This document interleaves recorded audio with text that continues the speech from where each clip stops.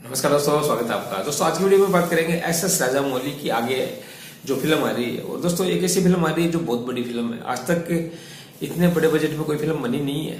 मैं आपको बता दू, क्योंकि इस फ़िल्म का जो बजट है वो एक हज़ार करोड़ रुपए। जी हाँ दोस्तों, हज़ार करोड़ रुपए की ये फ़िल्म है। और आज तक कभी इतनी बड़ी फ़िल्म बनी नहीं है।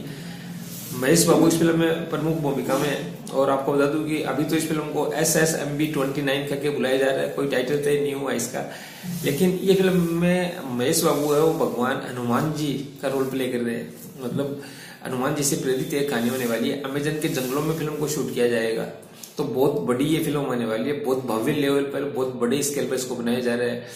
और ये बता दूँ आपको कि इसमें प्रियंका चोपड़ा की एंट्री होने वाली है। क्योंकि ग्लोबल मूवी है। पूरे विश्व भर में रिलीज़ किया जाएगा। इतनी बड़ी रिलीज़ होगी, जितनी बड़ी रिलीज़ आज तक तो कोई फ़िल्म हुई नहीं है।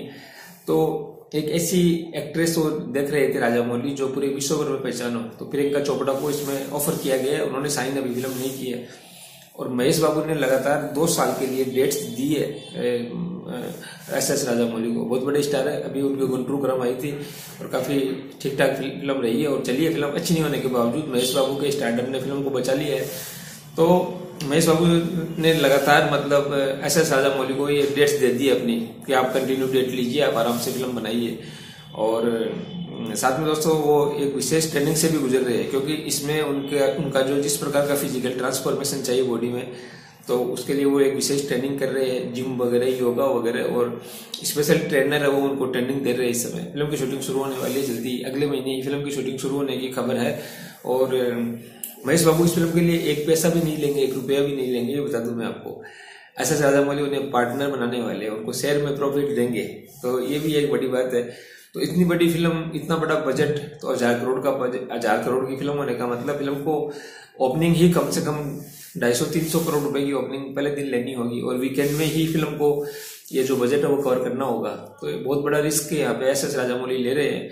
और लेकिन उनको अपने प्रोडक्ट पर यहाँ पे बहुत बड़ा विश्वास है उनको, अपना पूरा एक कॉन्फिडेंस है उनको कि हाँ ये फ़िल्म है वो हज़ार करोड़ में लगा रहा हूँ तो दो हज़ार रुपये करोड़ कमा के देगी। तो देखते हैं किस प्रकार की ये फ़िल्म होने वाली है और कितनी बड़ी है भव्य फ़िल्म होने वाली है। शूटिंग इसकी जल्दी शुरू होने वाली है और बाकी इसकी स्टारकास्ट क्या होगी? उसके बारे में भी जानकारी जल्दी सामने आ जाएगी। कहा जा रहा है कि इसमें बॉलीवुड से भी एक दो और बड़े स्टार्स को लिया जाएगा। तो अब किन को लिया जाता है वो भी देखने वाली बात ज़रूर होगी। फ़िलहाल कोई अपडेट नहीं है, लेकिन ही मैं आपको ज़रूर दूँगा। चैनल को सब्सक्राइब कर लीजिएगा। जय श्री राम, जय भोलेनाथ।